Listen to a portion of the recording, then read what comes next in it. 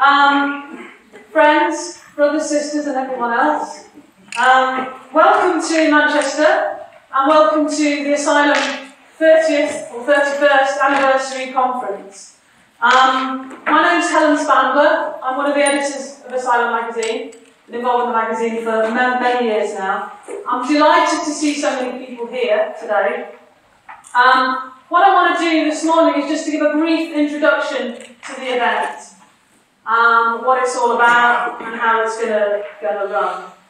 Um, so, firstly, just to sort of say what the purpose of the event is, and there's sort of three purposes, I suppose, really.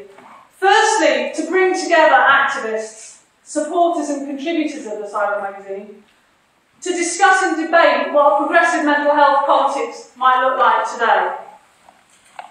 Secondly, to develop asylum as a platform for discussion and debate.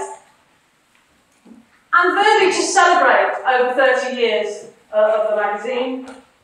And fourthly, to put the radical and humour back into, back into mental health, mental health politics. So I hope we will do that today. Um, I want to dedicate this event to Alec Jenner, who uh, this is the first event we've had since Alec Jenner died a few years ago, and Alec Jenner was one of the founders of the magazine and continues to be an inspiration to, to us, most of us involved in the magazine. But you may like to dedicate this uh, conference or this event to anyone you please, and there are lots of people we could potentially dedicate this conference to, people that we continually lose um, throughout our uh, activism. So um, just want to say a few thank yous as well. Thank you to Manchester University for letting us use this venue. Um, our, our, colleagues at Manchester University for letting us use this venue, I should say. Um, especially Ian Parker for lots of the work behind the scenes. Um, and not only organising this event, but organising two others as well. Three events, one is enough for me. Um, also Alex Dunedin, particularly from the Ragged University, for all the work he's, he's done in helping us put this together.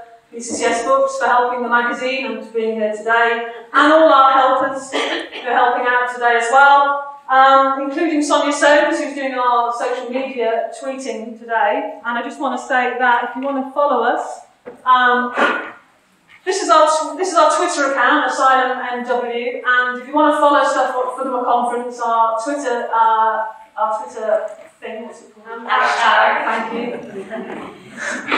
it's Asylum Mag. Um, and you can email us any time on that. There's our website. Um, I also want to thank Jill Anderson for donating um, Bob Dylan, our asylum dog. Um, anyone who follows us on Twitter will know about our asylum dog, who is named uh, Bob Dylan. Um, those of you who don't know may well think we're mad, but then we're in good company. Is that humour? You asked for it. Absolutely, thank you. Perfect. Okay, uh, just so those of you who don't know the history of Bob Dylan, I'll try and summarise it in a sentence or two. From humble beginnings as a bonkers comment in somebody's psychiatric medical notes, he became the name of our asylum mascot. And now everyone wants to be called Bob Dylan. On Twitter, that is. And we know Twitter's a. But that's solidarity for you. And solidarity, I'm glad to say, is back on the agenda in this country. Um, and when we started to organise this conference, God knows how long ago it was now, I was one of those people that thought we'd be now under a massive Tory majority. Um, and as we all know, in the last couple of months we've seen a resurgence in support for a more progressive politics and even socialism might be back on the agenda. Which Power to the people. Power to the people. Yeah. Power to the masses.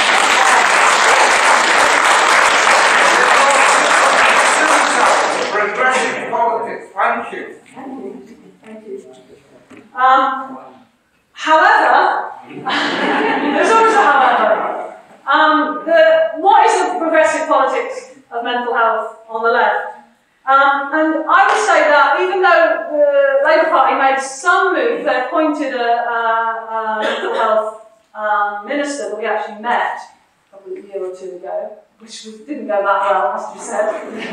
um, uh, and actually, if you look at the, the manifestos of the, of the parties, the probably arguably, the most progressive seem to be Theresa May's uh, statement that she would uh, abolish the Mental Health Act, which is a slightly perplexing situation.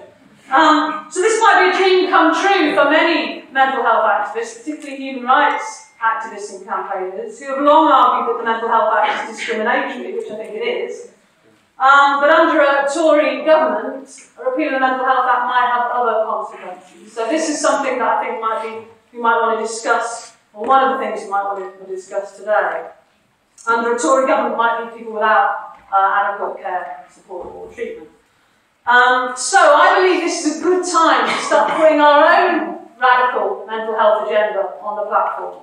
Yeah? To put it out there to get a more progressive left politics of mental health. If, if the progressive left is on the rise, then we need to be part of that and part of arguing for a, a progressive mental health politics within that.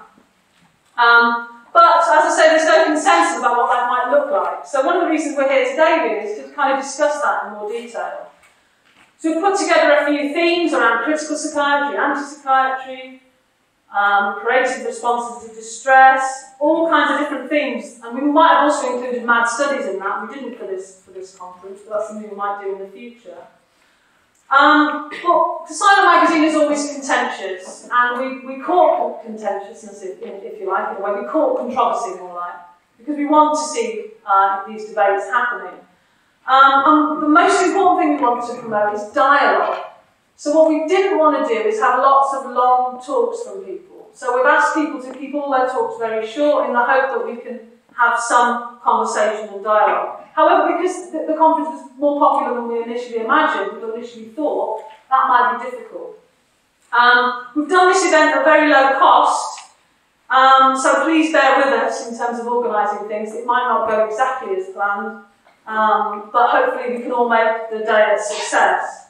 Um, please be considerate and kind to one another um, in, in the sense that if we want a different kind of mental health system, we need to prefigure what that mental health system is like. And that means we need to listen to each other and be kind to one another, when, even when we disagree, which I'm sure we will. Um, okay, we didn't want to turn people away. We hope we've ordered enough food, but don't be too greedy with the food. you might not have ordered enough food. But the good news is that Alex has managed to get us a banquet for tonight's party at Gulliver's. Um, so if you don't eat too much at lunch, you can will adequately be fed later. Will there be any bananas in that banquet? Alex, is there any bananas in the banquet? I'll make sure you've got bananas. But we do have bolios. dogs, dogs are welcome.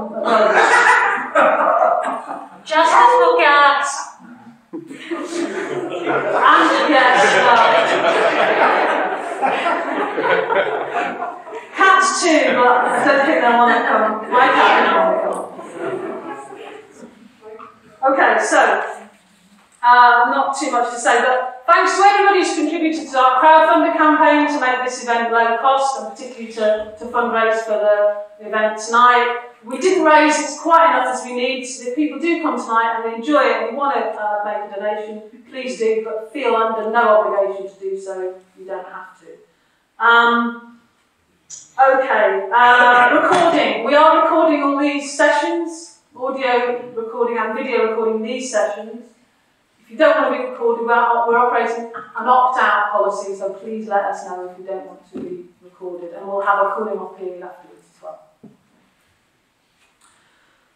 Okay, so uh, at the end of this, I'll put a slide up of the actual program. We've had a few uh, cancellations and changes to the program. In fact, I'll put them up now just to let you know.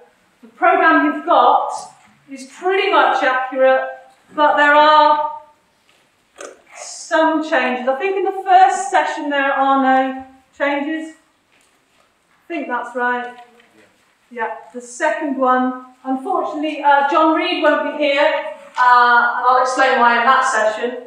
Um, uh, Hannah Hull unfortunately had to pull out from a Mad Love, which is really unfortunate, um, but she's promised to do a session for us, especially for us, a workshop on the design, Mad Love Design and Asylum at a future date, so keep in touch with us and let me know about that.